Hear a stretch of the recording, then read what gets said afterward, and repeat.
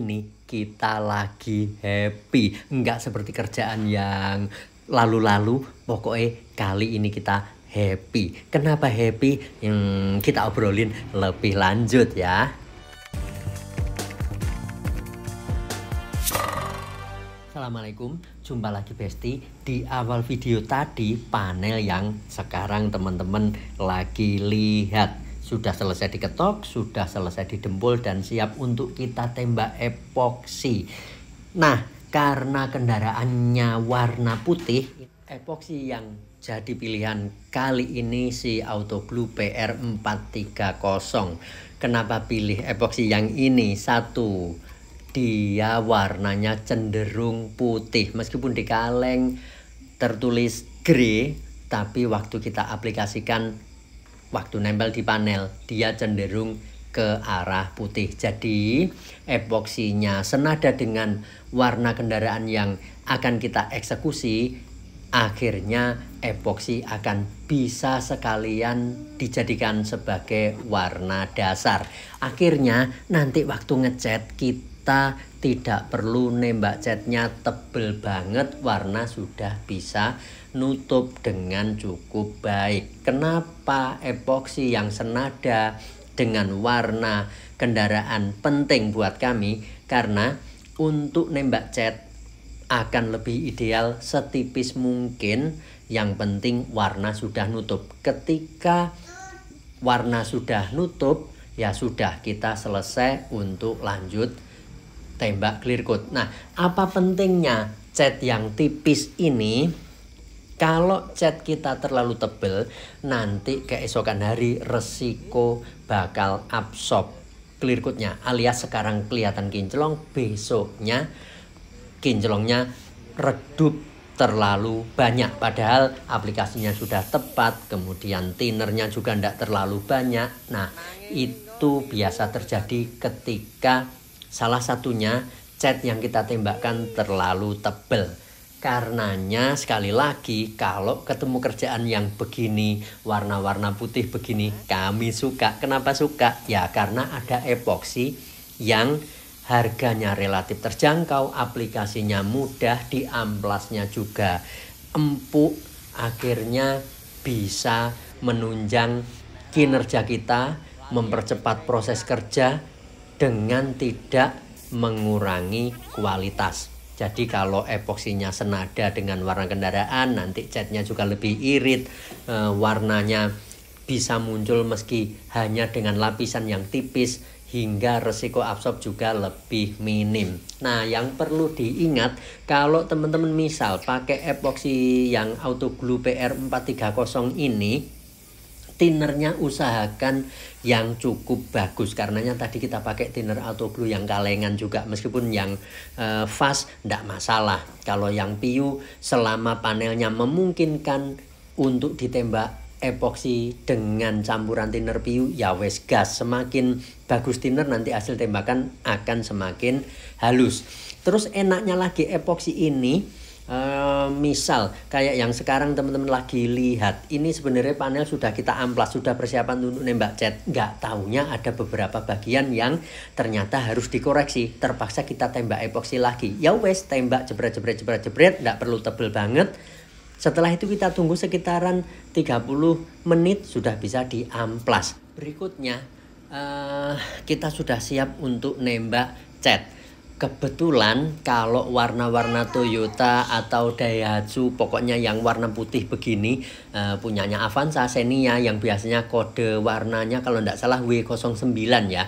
Uh, kita catnya pakai auto glue begini sudah aman banget. Maksudnya aman bagaimana? Secara kualitas dia bukan cat yang NC jadi nanti catnya akan mau kering dengan cukup cepat dan akan minim absorb kalau dibanding dengan cat yang NC. Kemudian harga juga relatif terjangkau di kisaran berapa ya 250 ribuan kalau tidak salah yang warna putih ini. Kemudian soal kepresisian warna. Kalau di panel mobil begini kita butuh cat yang dipakai untuk nyambung atau cat yang kita tembakkan ini nanti akan bisa cukup presisi dengan warna yang ada di mobil.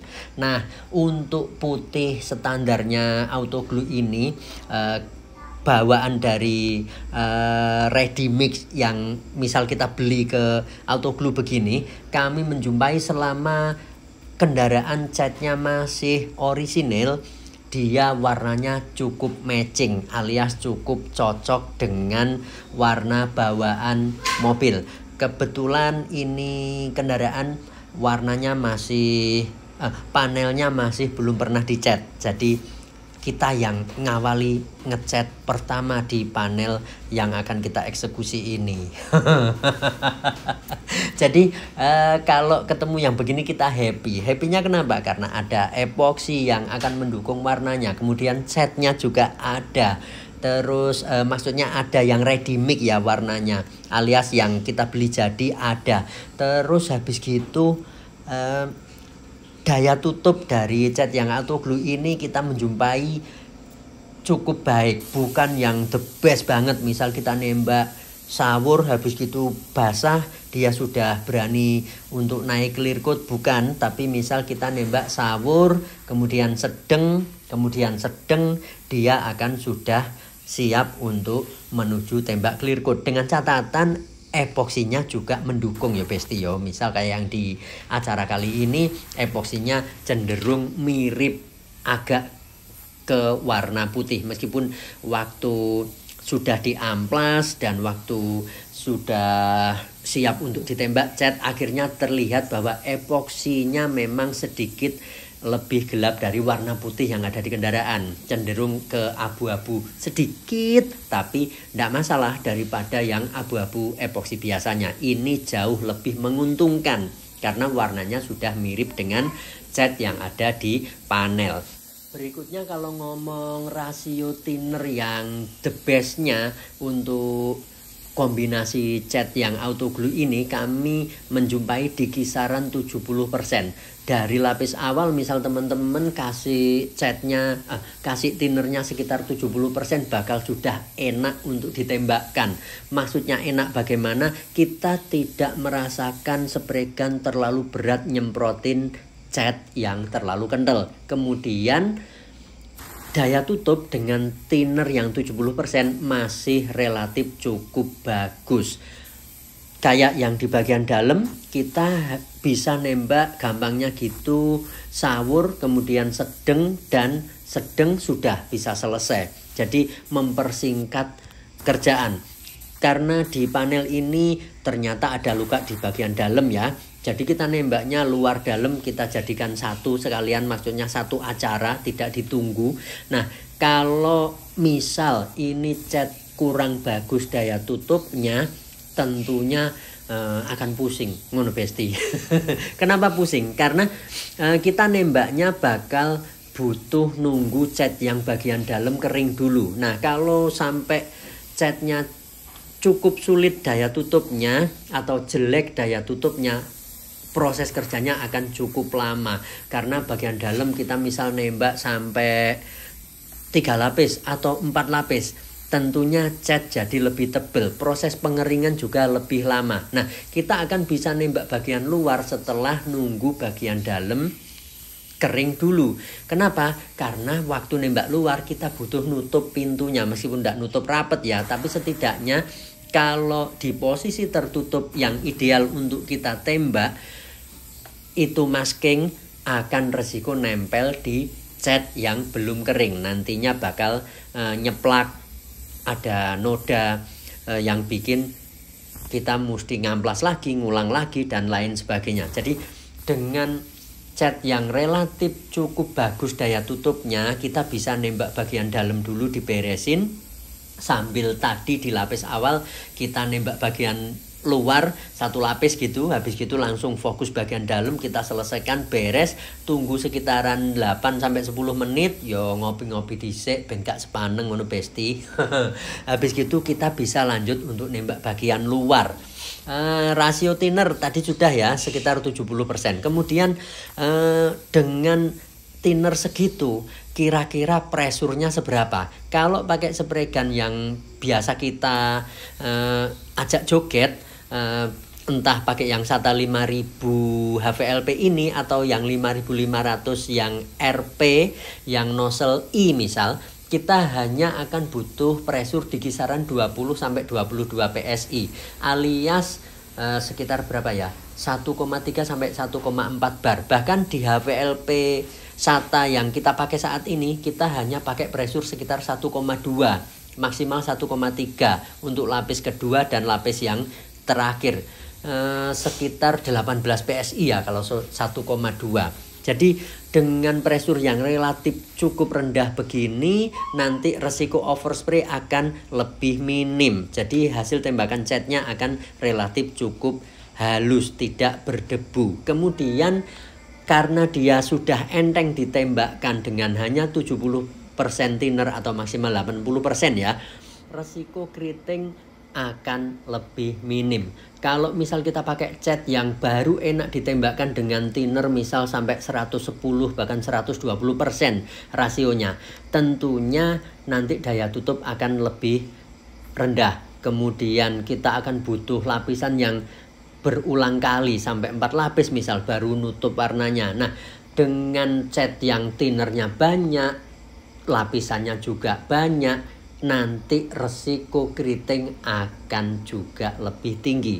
Jadi pertimbangan-pertimbangan ini yang bikin kami akhirnya e, berusaha menyediakan stok untuk warna-warna basic seperti warna putih W09 ini, kemudian warna e, silver 1E7 punyanya Toyota Daihatsu yang sangat sering diaplikasi kebetulan warna-warna tersebut Auto Blue punya. Jadi kita seneng ketika ada produk yang gampangnya gitu full system dari boxinya ada, dari dempolnya ada, dari tinernya ada, catnya ada, kemudian clear coat juga ada. Kita akan lebih seneng pakai produk yang macam gitu dengan catatan kualitasnya harus tetap bagus ya. Nah, jadi eh, produk-produk yang kita pakai yang kita sajikan ke teman-teman kita share ke teman-teman tentunya sudah uh, ada proses untuk saring menyaring. Tes apakah dia layak konsumsi ataukah produk tersebut kurang layak konsumsi. Ketika sudah layak konsumsi kita baru berani untuk share seperti ini. Jadi uh, misal teman-teman ada yang pengen ada yang pengen nyoba setidaknya video ini atau sharing yang kita sajikan tidak menyesatkan ngono besti oke okay? engko menyesatkan aku mbok demo apa gak loro kabeh Oke, okay, itu tadi beberapa alasan kenapa kita pilih pakai produk ini. Dan kemudian setelah kita tembak ya tipis-tipis dari awal, Uh, setelah kita cek yang tadi sempat ada kelihatan sedikit kurang kenyang di pintu belakang akhirnya kita tembak satu lapis tipis dan di lapis terakhir juga kita uh, antisipasi thinners kita kasih sedikit lebih banyak dari lapis yang awal-awal untuk mereduksi uh, kemungkinan muncul debu di ujung sambungan cat. Nah, akhirnya kita bisa dapat hasil seperti yang teman-teman lihat saat ini. Oke, uh, nah di bagian ini dia masih sedikit terlihat kurang kenyang catnya. Jadi kayak bayang epoksi gitu masih sedikit terlihat. Akhirnya butuh untuk kita tembak lagi selapis meskipun hanya di sawur tipis-tipis tidak apa-apa tujuannya ya buat antisipasi jangan-jangan nanti setelah kita tembak clear coat nggak tahunya di area situ masih ada bayang warna epoksi kan yo mumet ngono lo coy.